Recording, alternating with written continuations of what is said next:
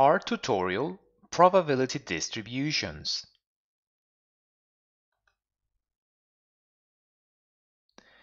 Probability distributions consist of all possible values that a discrete or continuous random variable can have and their associated probability of being observed.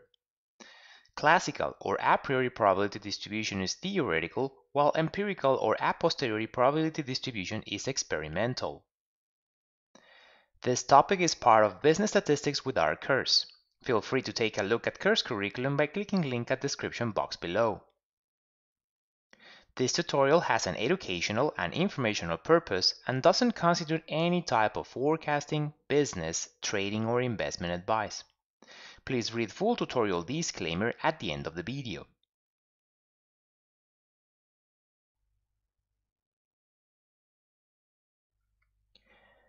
An example of probability distribution is the normal probability distribution, which consists of all possible values that a continuous random variable can have and their associated probability of being observed. Its probability distribution function is bell-shaped, symmetric from its mean, and mesokurtic. Standard normal probability distribution consists of normal probability distribution with mean zero and unit variance. Any normal probability distribution can be converted into a standard normal probability distribution through continuous random variable standardization.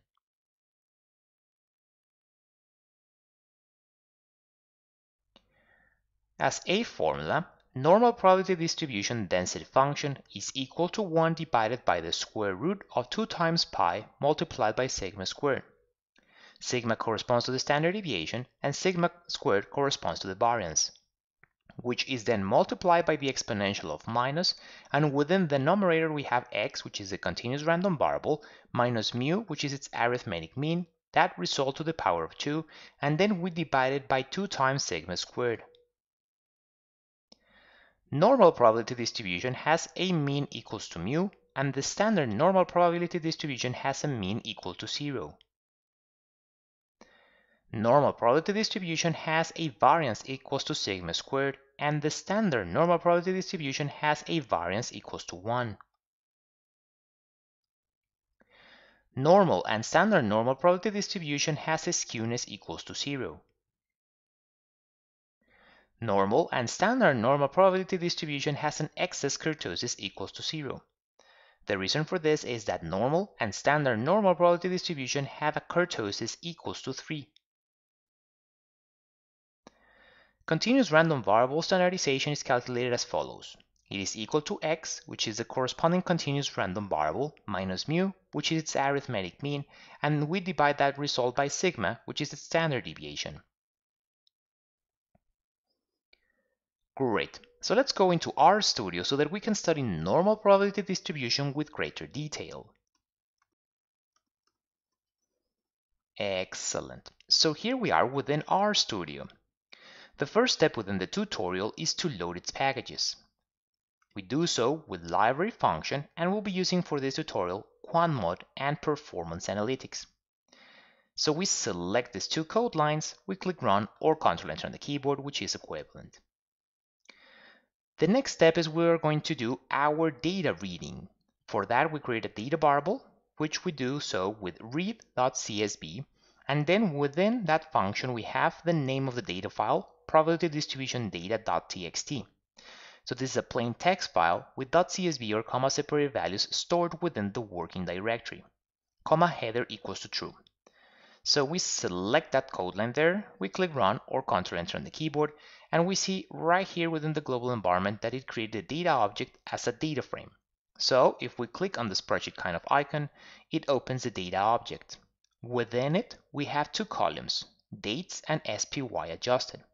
SPY is the ETF investment vehicle which intends to replicate the Standard & Poor's 500 index. Adjusted because this includes adjusted close prices which were adjusted for dividends and splits. Here we have data with a daily frequency from the beginning of 2007 to the end of 2015, therefore 9 years of data. So going back into the code file, the next step is we're going to create another variable which we're going to name SPY and this is going to be an extensible time series. So we do so with XTS function. From data we're selecting the second column, comma, order by equals as date, that same data, object, we select its first column. So we select the code line again and click Run or Ctrl Enter on the keyboard.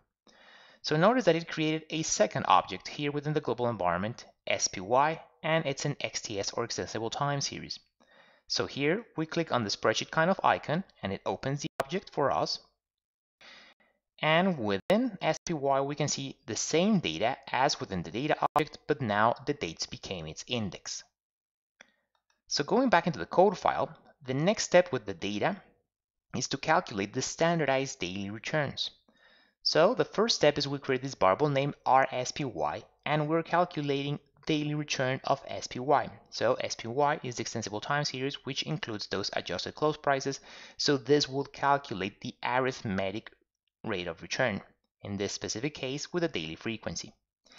And the next step is we are going to standardize those daily returns. Therefore, we create this other variable with an s at the beginning, so we know they are the standardized, so srspy, and we use scale function for the previously calculated daily returns. So the scale function, what it's doing is it subtracts the mean and to that result divides it by the standard deviation.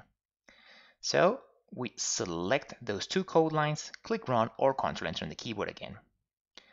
So the next step is we're going to print those standardized daily returns descriptive statistics. So first we begin with the mean. So we have the mean of those standardized daily returns. So we select that code line, click Run or Ctrl Enter on the keyboard. Notice that those standardized daily returns have a mean of 1.09 Notice here that this is with scientific notation exponential of minus 17, meaning that we will need to move the decimal point 17 places to the left. Therefore, they had a mean close to zero, as expected because of their corresponding standardization. Then we're going to print their standard deviation. So we have SD for standard deviation of those standardized daily returns. We select that code line, click Run or Ctrl Enter on the keyboard, and we see that standardized daily returns had a standard deviation of 1 as expected because of that corresponding standardization. And now we're going to print their skewness. So we select this code line, the skewness of those standardized daily returns, and we click Run or Ctrl Enter on the keyboard, and we see that those standardized daily returns have a positive skewness. And then here we are going to print their excess kurtosis. The excess kurtosis is done with kurtosis function of those standardized daily returns. So we select the code line, we click Run or Ctrl Enter on the keyboard, and we see that those standardized daily returns had a positive excess kurtosis. So going down, the next step is we're going to study the standard normal probability distribution.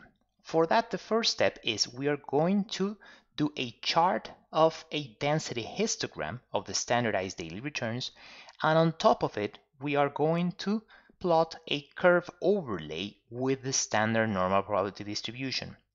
So here with hist of those standardized daily returns, comma frequency equals to false, if we select the code line there, click run or control enter on the keyboard, we see the corresponding chart with that histogram. So notice here on the vertical axis we have density and in this specific case as empirical probability. On the horizontal one we have the number of standard deviations from the arithmetic mean.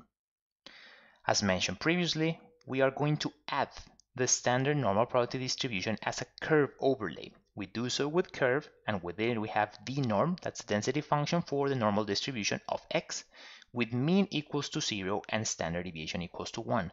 Therefore, standard normal probability distribution. Colored in blue, add equals to true, and YAXT equals to none.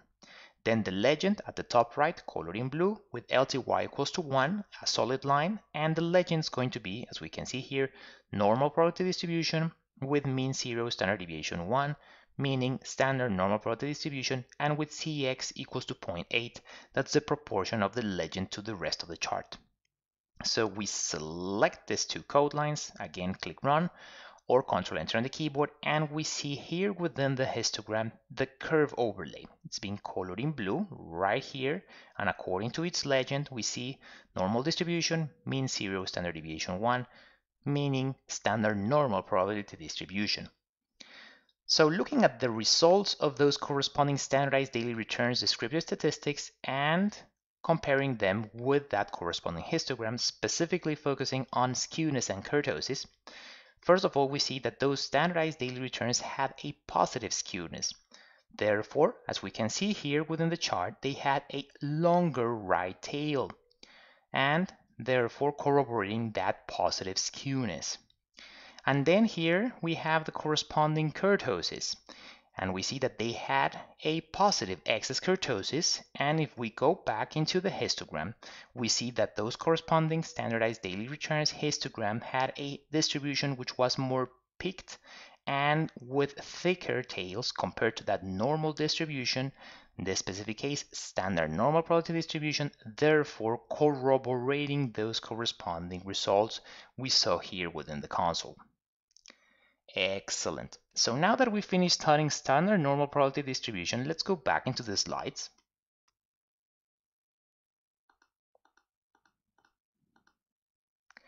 And as mentioned previously, this tutorial has an educational and informational purpose and doesn't constitute any type of forecasting, business, trading, or investment advice. Please pause the video now so you can read the full tutorial disclaimer. Okay, so with this, we finish this tutorial. Thank you for watching.